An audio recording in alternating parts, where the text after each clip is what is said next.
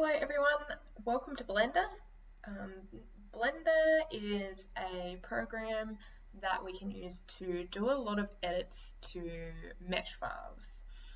Uh, it has a lot of capabilities and it's also free. So thought I'd show you a few things that you can do. So this is what you'll see when you first open up Blender. It gives you a little default shape, which is a cube. So a few things before you start using Blender. It's going to be really, really, really advantageous for you if you have a mouse and that that mouse has a scrolly wheel because we use the scrolly wheel like a third mouse clicker. You hold it down and drag it and you're rotating around in your scene. If you hit shift and you hold the mouse wheel down and you move around, then you're panning around. If you use the left hand clicker on the mouse, that lets you select an object. And then if you use the right hand clicker, that gives you some options for that object. So the first setting that you want to change before you do anything, otherwise you're going to get really annoyed at Blender, is that you want to go into navigation and Blender will by default have the orbit method set to turntable. And this is going to uh, make Blender act as if your object is on a table and the way that you want to view it is that you're just walking around that table and viewing it from the sides and above. You want the full 360 degree view, so you want to make sure it's set to trackball. If you don't have a mouse, you can go into Keymap and set your 3D um, 3D rotation mode to be a key instead. So when you hold down that key, it acts as if um, you're holding down the mouse wheel. So um, this is your rotate view and your pan view um, that are using the middle mouse button and you can change those.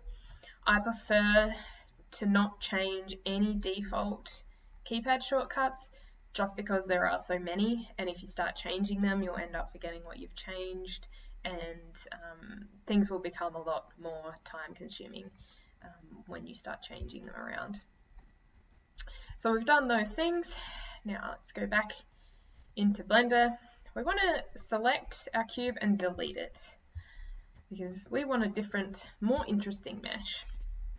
I thought that today we would play bit of frog operation.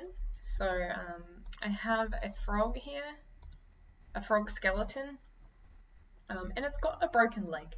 So I'm gonna fix fix that up. I'm gonna reattach its leg, realign it, and clean it up and make it look all nice.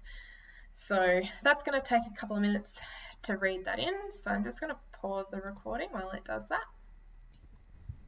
Okay, so it's loaded in our frog mesh. By default, it's going to center the center of the frog's bounding box to the center of the scene, which is here.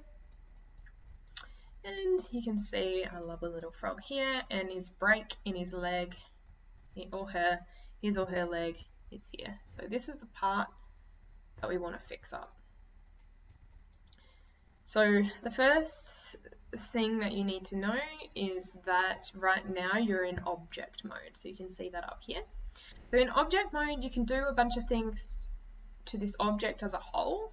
You can move it around, you can rotate it, scale it, um, you can do all those things, but you cannot edit the raw components of the mesh, which is the polygons, the little units that make up the mesh. So to do that, we want to change from object mode to edit mode.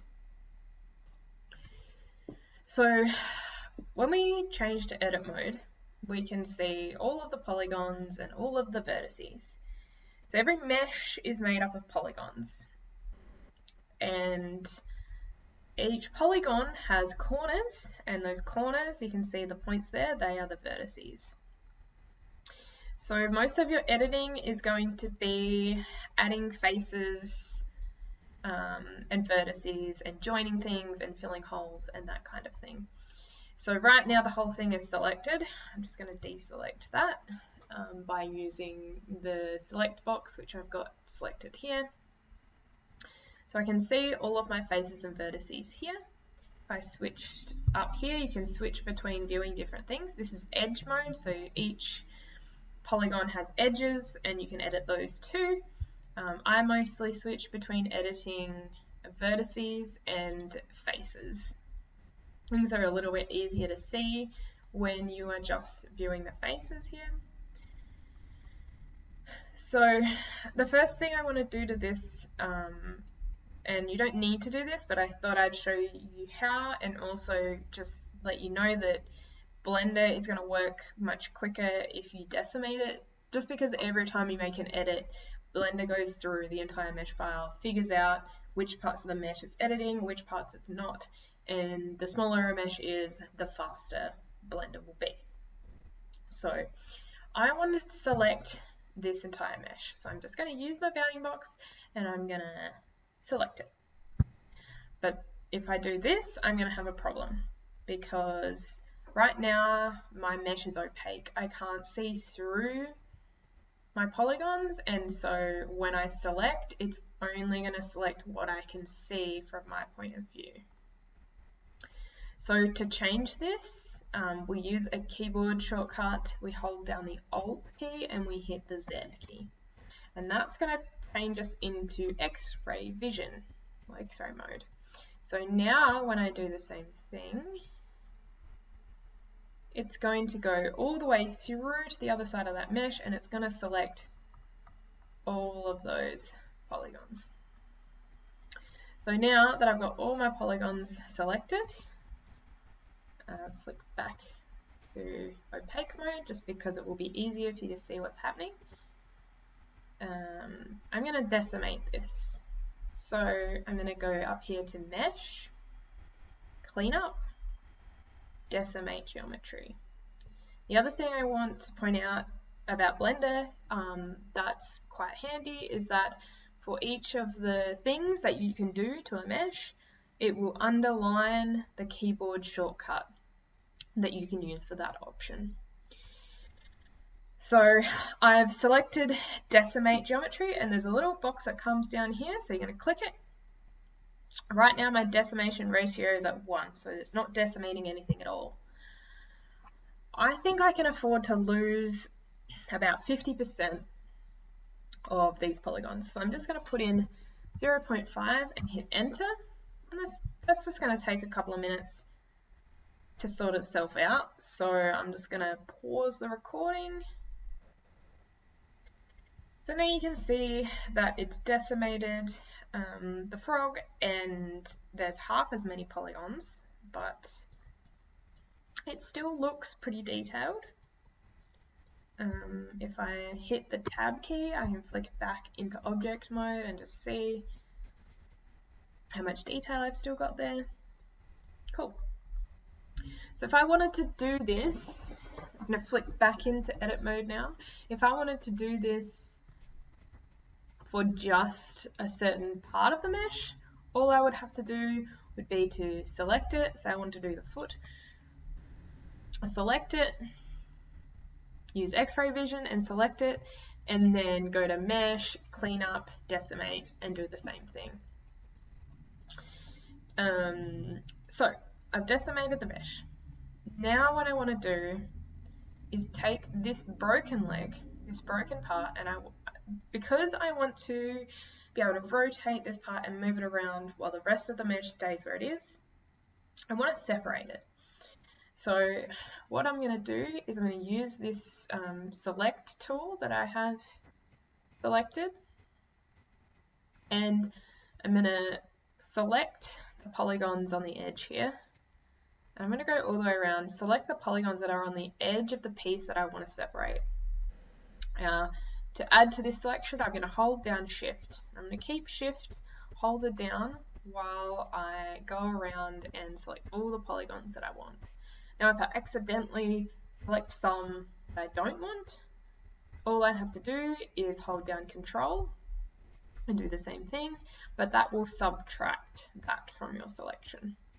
So I'm going to select um, all of these polygons around here um, right on the edge as best as I can and I'm going to pause the recording while I do that.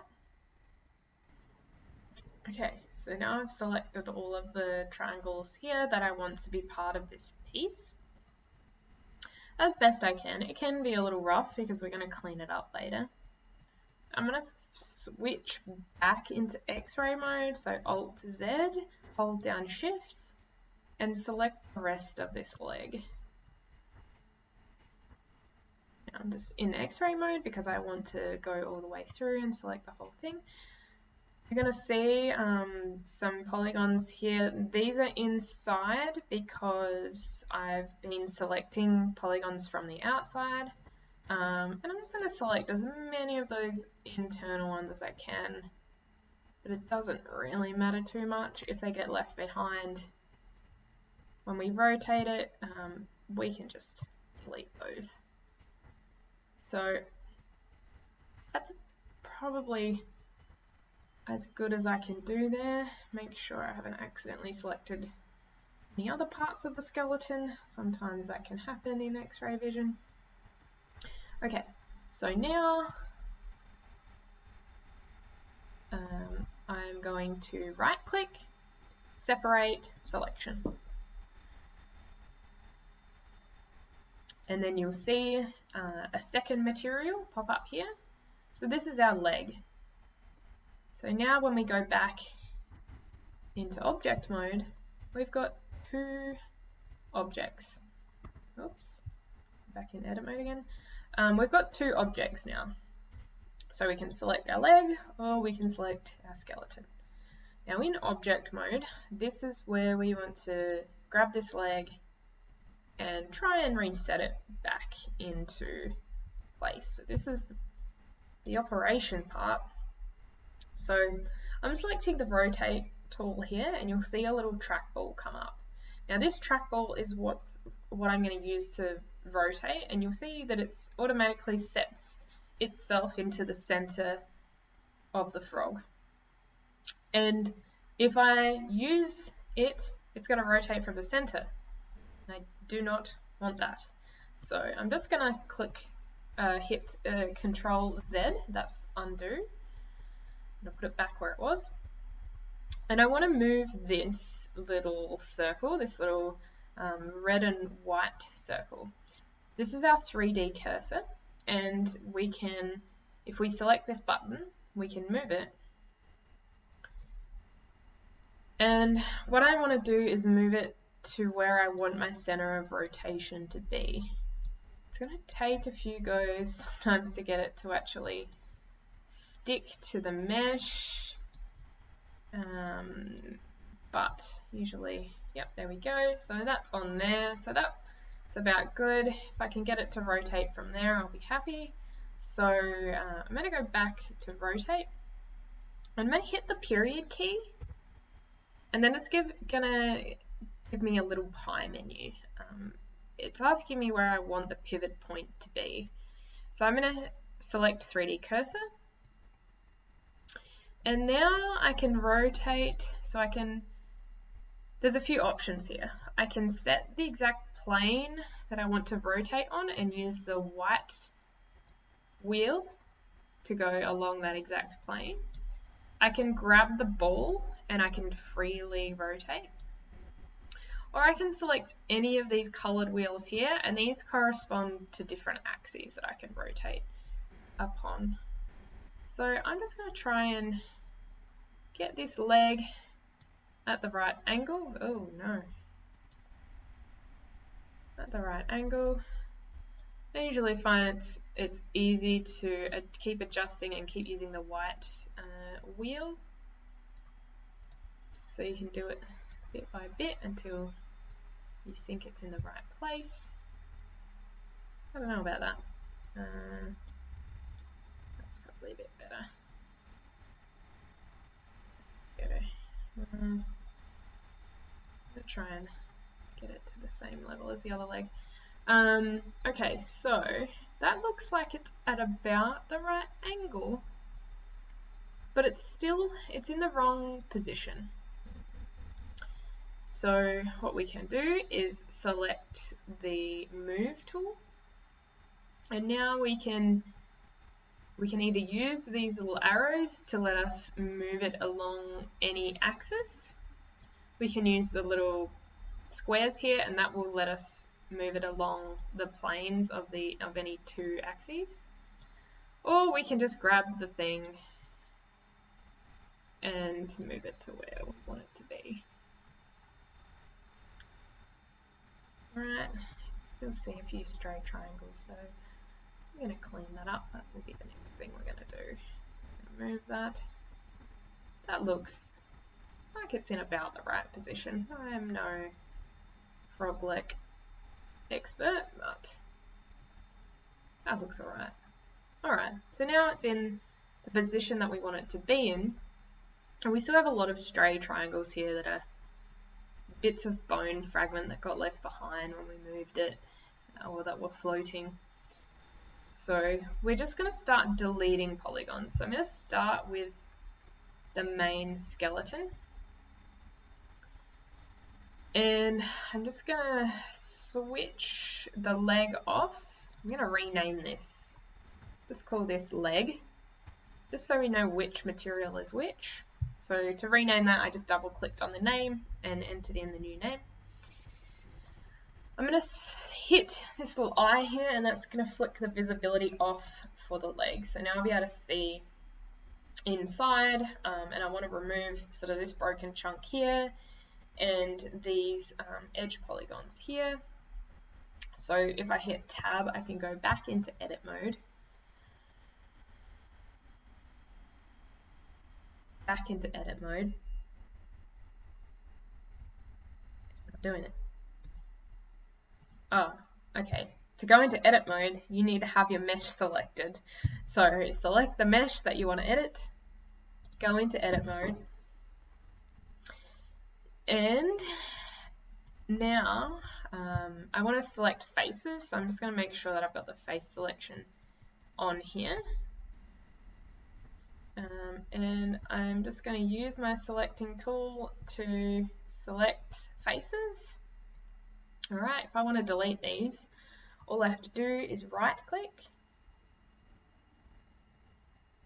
delete, or you can hit delete and it will come up, it'll ask you what exactly you want to delete. So um, usually I'll select faces if I'm being particularly brutal with deleting, I'll select vertices because if you select vertices, it's going to delete the faces that you've selected plus the connected faces because it's going to delete any vertices that make up the next faces as well.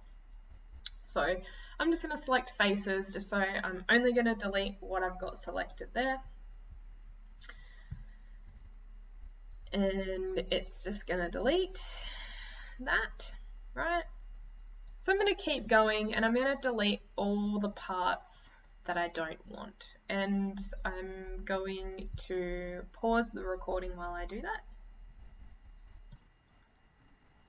Okay, so you'll see that I've cleaned this up and literally all I've done is just deleted faces.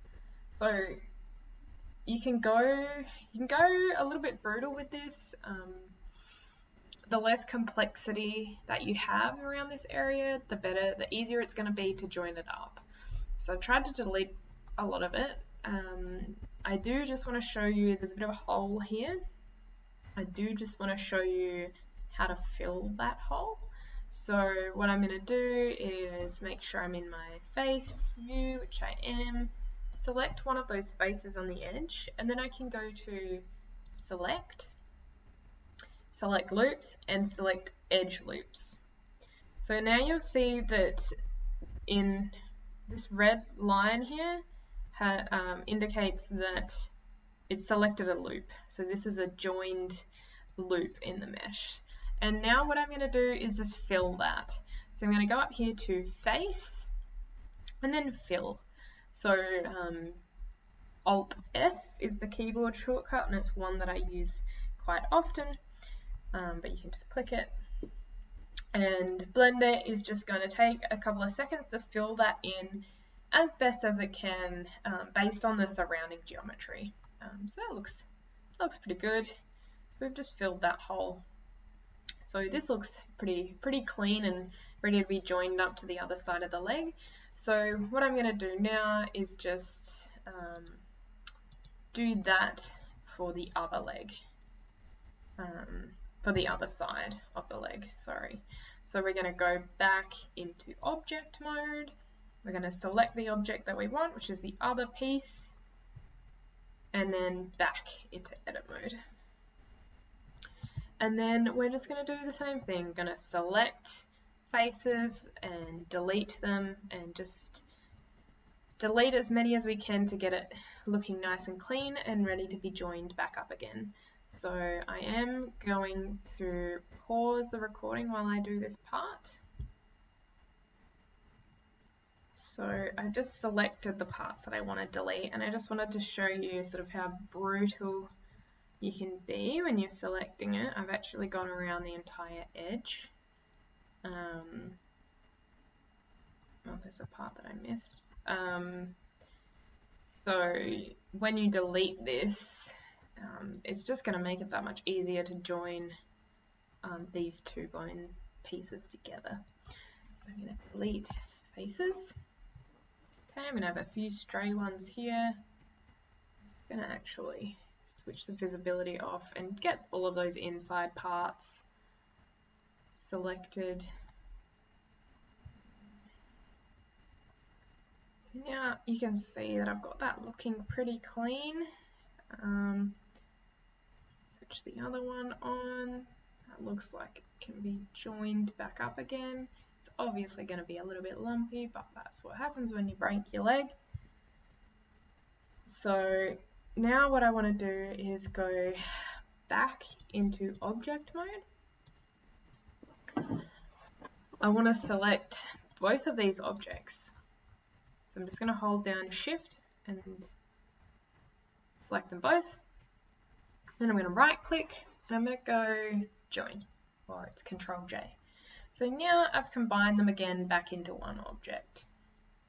And you might choose to not um, join them back up again because, I mean, you can see that it doesn't, doesn't look too bad, actually. Um, you can tell that it's broken, but it, at least it's in the right position.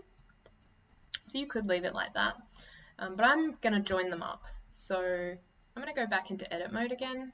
Just going to hit the tab key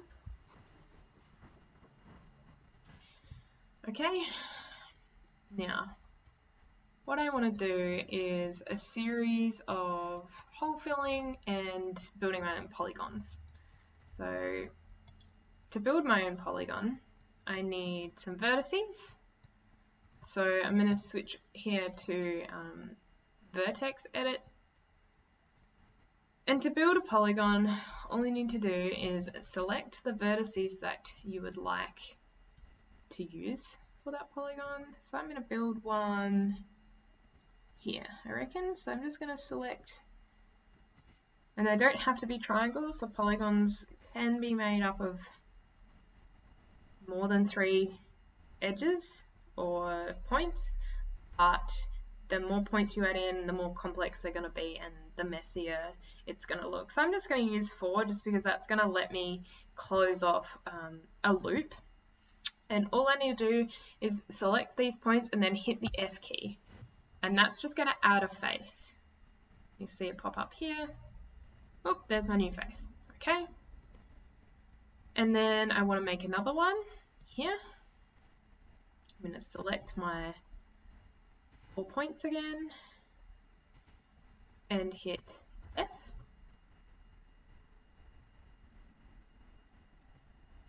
And there's another face. Now what I can do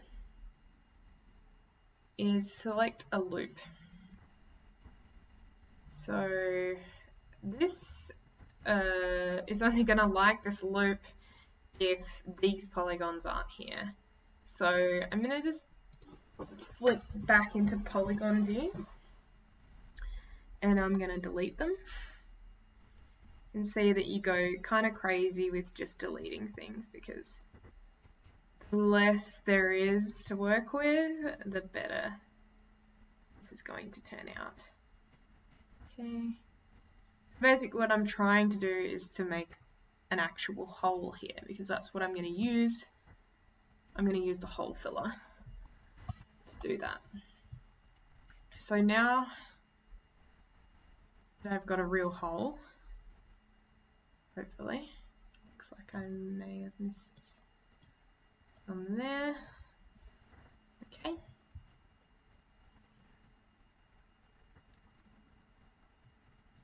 Now that I've got a real hole, I can choose one of these edge polygons and then I can do my um, select loop again. So it selected the loop. Um, if I had have left those polygons in there, it wouldn't have recognized this as an edge. So it wouldn't have selected this loop. So now I'm just going to go Alt F and that's going to fill that in for me um, with some kind of geometry that it estimates. It looks a little bit jagged there, but you know, it is a broken leg. You can smooth that over. If you would like, you could, I could have deleted some more polygons there and then that would have filled the hole out to there. Um, it's, it's up to you how neat you want to make it.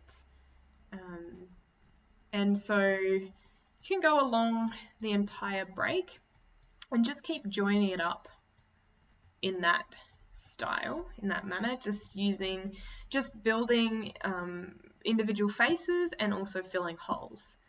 So I'm going to go ahead and do that for the entire break and then um, I'll get back to you and I'm going to pause the recording so you don't have to watch me do it. One thing that I thought I'd add, um, I've just been going along filling in holes here. Um, this is going to be easier and be quicker if you decimate just this part where the break is. So to do that, I'm going to go Alt Z. I'm just going to select this part where the break is, right? And then I'm just going to mesh, clean up, decimate. And then it's remember the ratio that I used last time and it's just decimated all of that. And I can take it even further. But as you can see, um, the fewer polygons you have, the fewer that you'll have to add. So um, it's gonna now that's gonna take me half the time to join those two things back up again.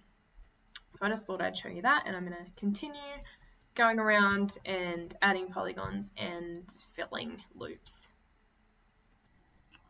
Okay, so I've just been building faces and filling holes until I finally joined this back up. You can still see that it was broken and um, you could delete and fill and delete and fill more if you wanted to make that look smoother but I think that looks not too bad actually. Um, so that's our that's our frog operation. Um, so if we go back into object mode, we can save. Oops, we can now save our new mesh. So um, this is oh, it's renamed it to be leg, but it is um, our frog um, operation. So we just want to name it something so that we know that this is the file that's been fixed. Now, if we were partway through this and we wanted to stop what we were doing, close Blender down and come back to it, we can save it as a Blender project. So we would go save and then we can save it. I'm just going to save it in this same fo folder and you want to give the project a name so that you know what it is. You would save your Blender file and then um, when you open that project it's just going to open it exactly where you left off. We want an STL or an OBJ that we can then export out of Blender and use for other things. So um, what I want to do is go to File, Export. Um, let's say I want an OBJ. So the one main thing that you want, and especially when you have multiple meshes in a single scene, is you want to tick this box here. So um, that's going to save only the object that you have selected. For this, it doesn't really matter because we only have one object, but um, just know that if you want to save um, single meshes out of one larger scene, you need to tick this box. But we can um, give, save our OBJ in here. So Blender can take a little while um, to write OBJs. You know that it's writing because you can actually see it's got some little numbers that come up there. Um, so that's just going to take a couple of minutes. And I guess that's um, Operation Frog done. Um, if anyone has any requests for any other things they'd like to learn in Blender, um, let me know um, because yeah, I can film more videos like this. Um, and now that we've saved our mesh, we can export it into Sketchfab or MeshLab or you know, landmarking software or whatever we want to use it for. Um, and I will catch you on the flip side.